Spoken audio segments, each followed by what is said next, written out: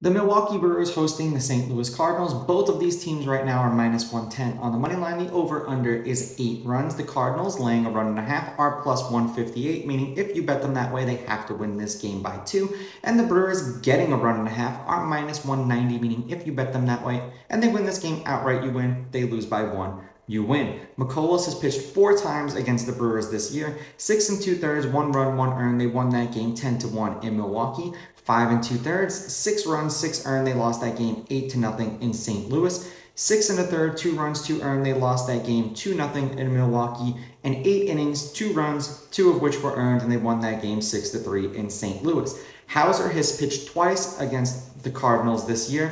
Five and two thirds, one run, one earned. They lost two to one. That was in Milwaukee.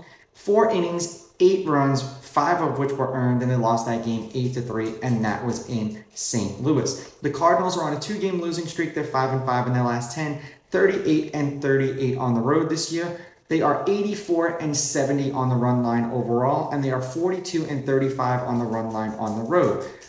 They are 5 and 5 in Mikolas' last 10 starts. They've lost his last three outings. He's averaging six innings pitched in his last 10 games and 4.4 strikeouts per game in his last 10, so less than a strikeout per inning.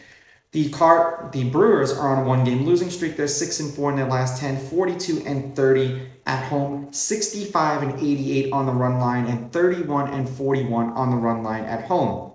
They've won Houser's last five appearances. A couple of them were in relief. They are six and four as a team in the games in which he's pitched in. He's averaging four innings pitched in his last 10 and two strikeouts per game in his last 10 games. Head to head, the Cardinals won the last game they played against each other. These teams are 5 and 5 against each other in their last 10. The favorite winning these games by two runs or more is 6 and 4. There have been two one run games in their last 10 meetings. The under is 5 4 and 1, and the over under at 8 is 4 4 and 2. So that seems to be the magic number right there at 8. I'm going to take the Cardinals with the money line, the Cardinals laying the runs, and I'm going to go under in this game. These are just my picks. If you disagree, please go with your gut and please bet responsibly.